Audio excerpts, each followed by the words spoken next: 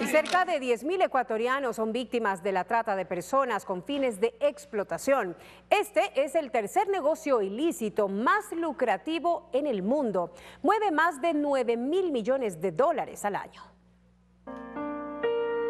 Localizada por internet o personalmente, una persona puede recibir una oferta de trabajo en el extranjero, viajar al lugar atraída por falsas promesas y allí lejos, con los documentos de viaje secuestrados y bajo amenazas, ser obligada a realizar cualquier tipo de actividad.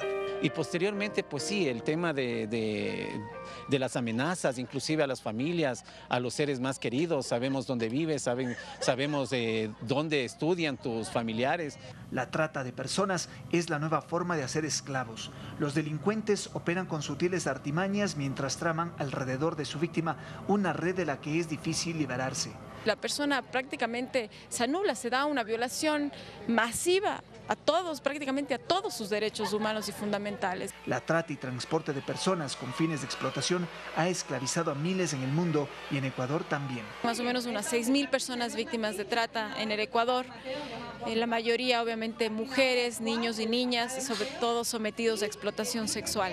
En el país hacen falta estudios precisos, dice la red antitrata, que reúne a 20 organizaciones no gubernamentales y a la Defensoría del Pueblo. El común denominador es la situación económica, ¿no? la falta de trabajo tal vez eh, en muchos casos, o el querer obtener eh, dinero de una forma un poco fácil. Es ahí el caldo de cultivo donde estas personas inescrupulosas logran conseguir a través de mentiras, de engaños, de ofrecimientos falsos, el eh, lograr prácticamente poseer la vida de otras personas. Son las redes sociales los escenarios donde los delincuentes buscan potenciales esclavos logran conocer de que estas personas están en un bajón anímico y tratan de llegar donde ellas. Buscan personas en estado emocional vulnerable. Tal vez estar fastidiados por tal o cual situación, o que están tristes, o que están deprimidos. Las redes sociales nos permiten, solo con emoticones, indicar cómo está. Bienvenida. Pocas personas conocen de este tipo de delito, por eso a través de una serie de dramatizaciones en el Parque de la Carolina, este sábado se socializó esta forma de delincuencia llevada a cabo por mafias internacionales. No es fácil que una persona denuncie, no es fácil incluso que se identifique como víctima de trata. Las organizaciones que conocen de esta problemática sienten que hace falta discutir y perfilar este delito.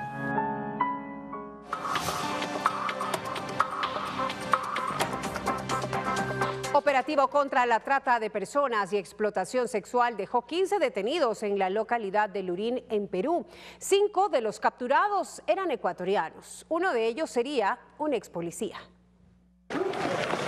Todos sitios, todos quedan, todos quedan. Todos quedan, todos quedan. Nadie sale.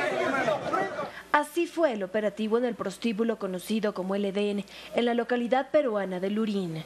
Los agentes ingresaron además a hoteles y departamentos cercanos, donde varias mujeres permanecían sometidas. La modalidad de seducción es una modalidad eh, con la cual establecen relaciones sentimentales y luego la someten al dominio de estos ciudadanos, de los agentes del delito, para luego colocarlas en prostíbulos. 15 personas fueron detenidas acusadas de explotación sexual.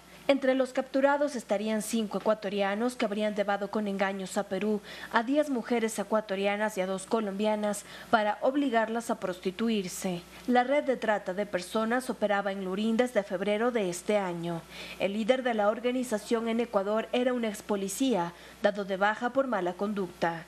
La mayoría de las víctimas tenía entre 18 y 22 años. Las mujeres ecuatorianas y colombianas que fueron rescatadas durante el operativo serán repatriadas a sus países de origen, mientras que los detenidos permanecen a órdenes de la Fiscalía.